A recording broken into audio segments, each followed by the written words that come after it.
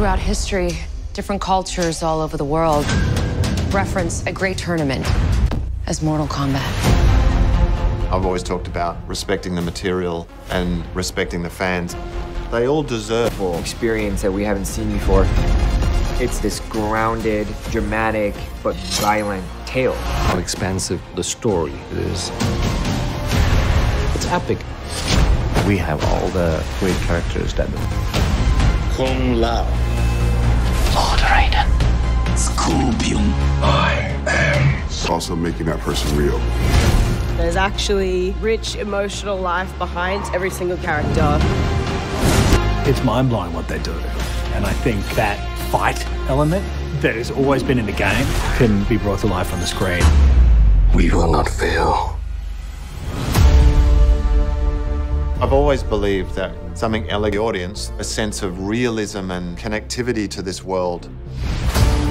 The first time that I started seeing all of these guys in costume. Be produced. This is seeing something that I've been passionate about my whole life finally come to the screen. Pleasure. It really represents the Mortal Kombat world. I hope that it's just a game. It's more than that. It's cinematic, it's beautiful, there's heart and there's emotion. All those things.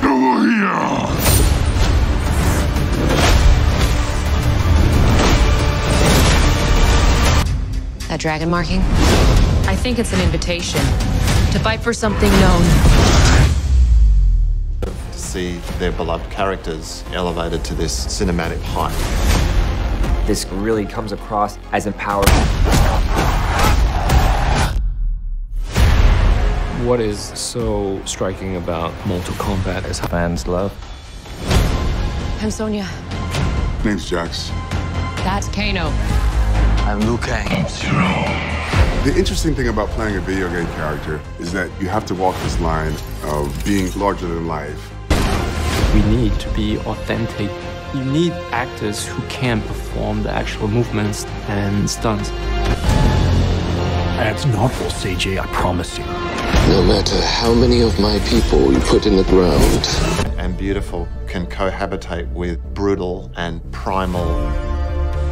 All of the detail gives. I was blown away. They've completely brought all of these characters to life. This is more than just seeing a movie.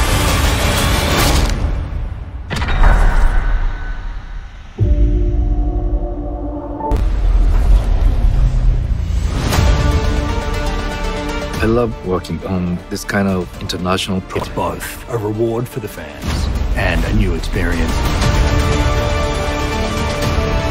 Don't be full audience together. It should be a fun, powerful ride. So enjoy.